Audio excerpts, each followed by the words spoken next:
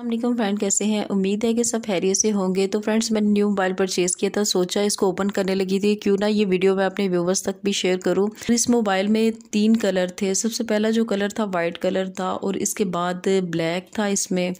और थर्ड था ब्लू था। मुझे सबसे ज़्यादा प्यारा यही कलर लगा था। ब्लू तो मैंने ब्लू ही परचेज़ किया है।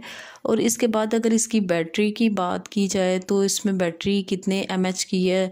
पाँच हज़ार इसमें एमएच की बैटरी है। सैमसंग ए ट्वेल्व की मेमोरी को देखा जाए तो इसमें sixteen four G B memory है और इसके बाद इसकी रैम है, चार जी बी इसकी रैम है। पाँच हज़ार एम एच इसकी बैटरी है। ब्लू कलर का ये मोबाइल है। इतनी प्राइस में अगर आपको पाँच हज़ार एम एच की बैटरी चार जी बी इसकी रैम है तो सिक्सटीन फोर जी बी इसकी मेमरी है प्राइस में मिल जाता है तो बहुत ज़्यादा अच्छा मोबाइल है लेटेस्ट मोबाइल है। जनवरी में मेरे हाल से ये लॉन्च हुआ है। तो ऐसा मैंने यूज़ के लिए लेना था। तो मैंने सोचा ये इसको अनबॉक्स कर रही थी। क्यों ना मैं अपने व्यूवर्स तक भी ये वीडियो को ज़रूर शेयर करूँ।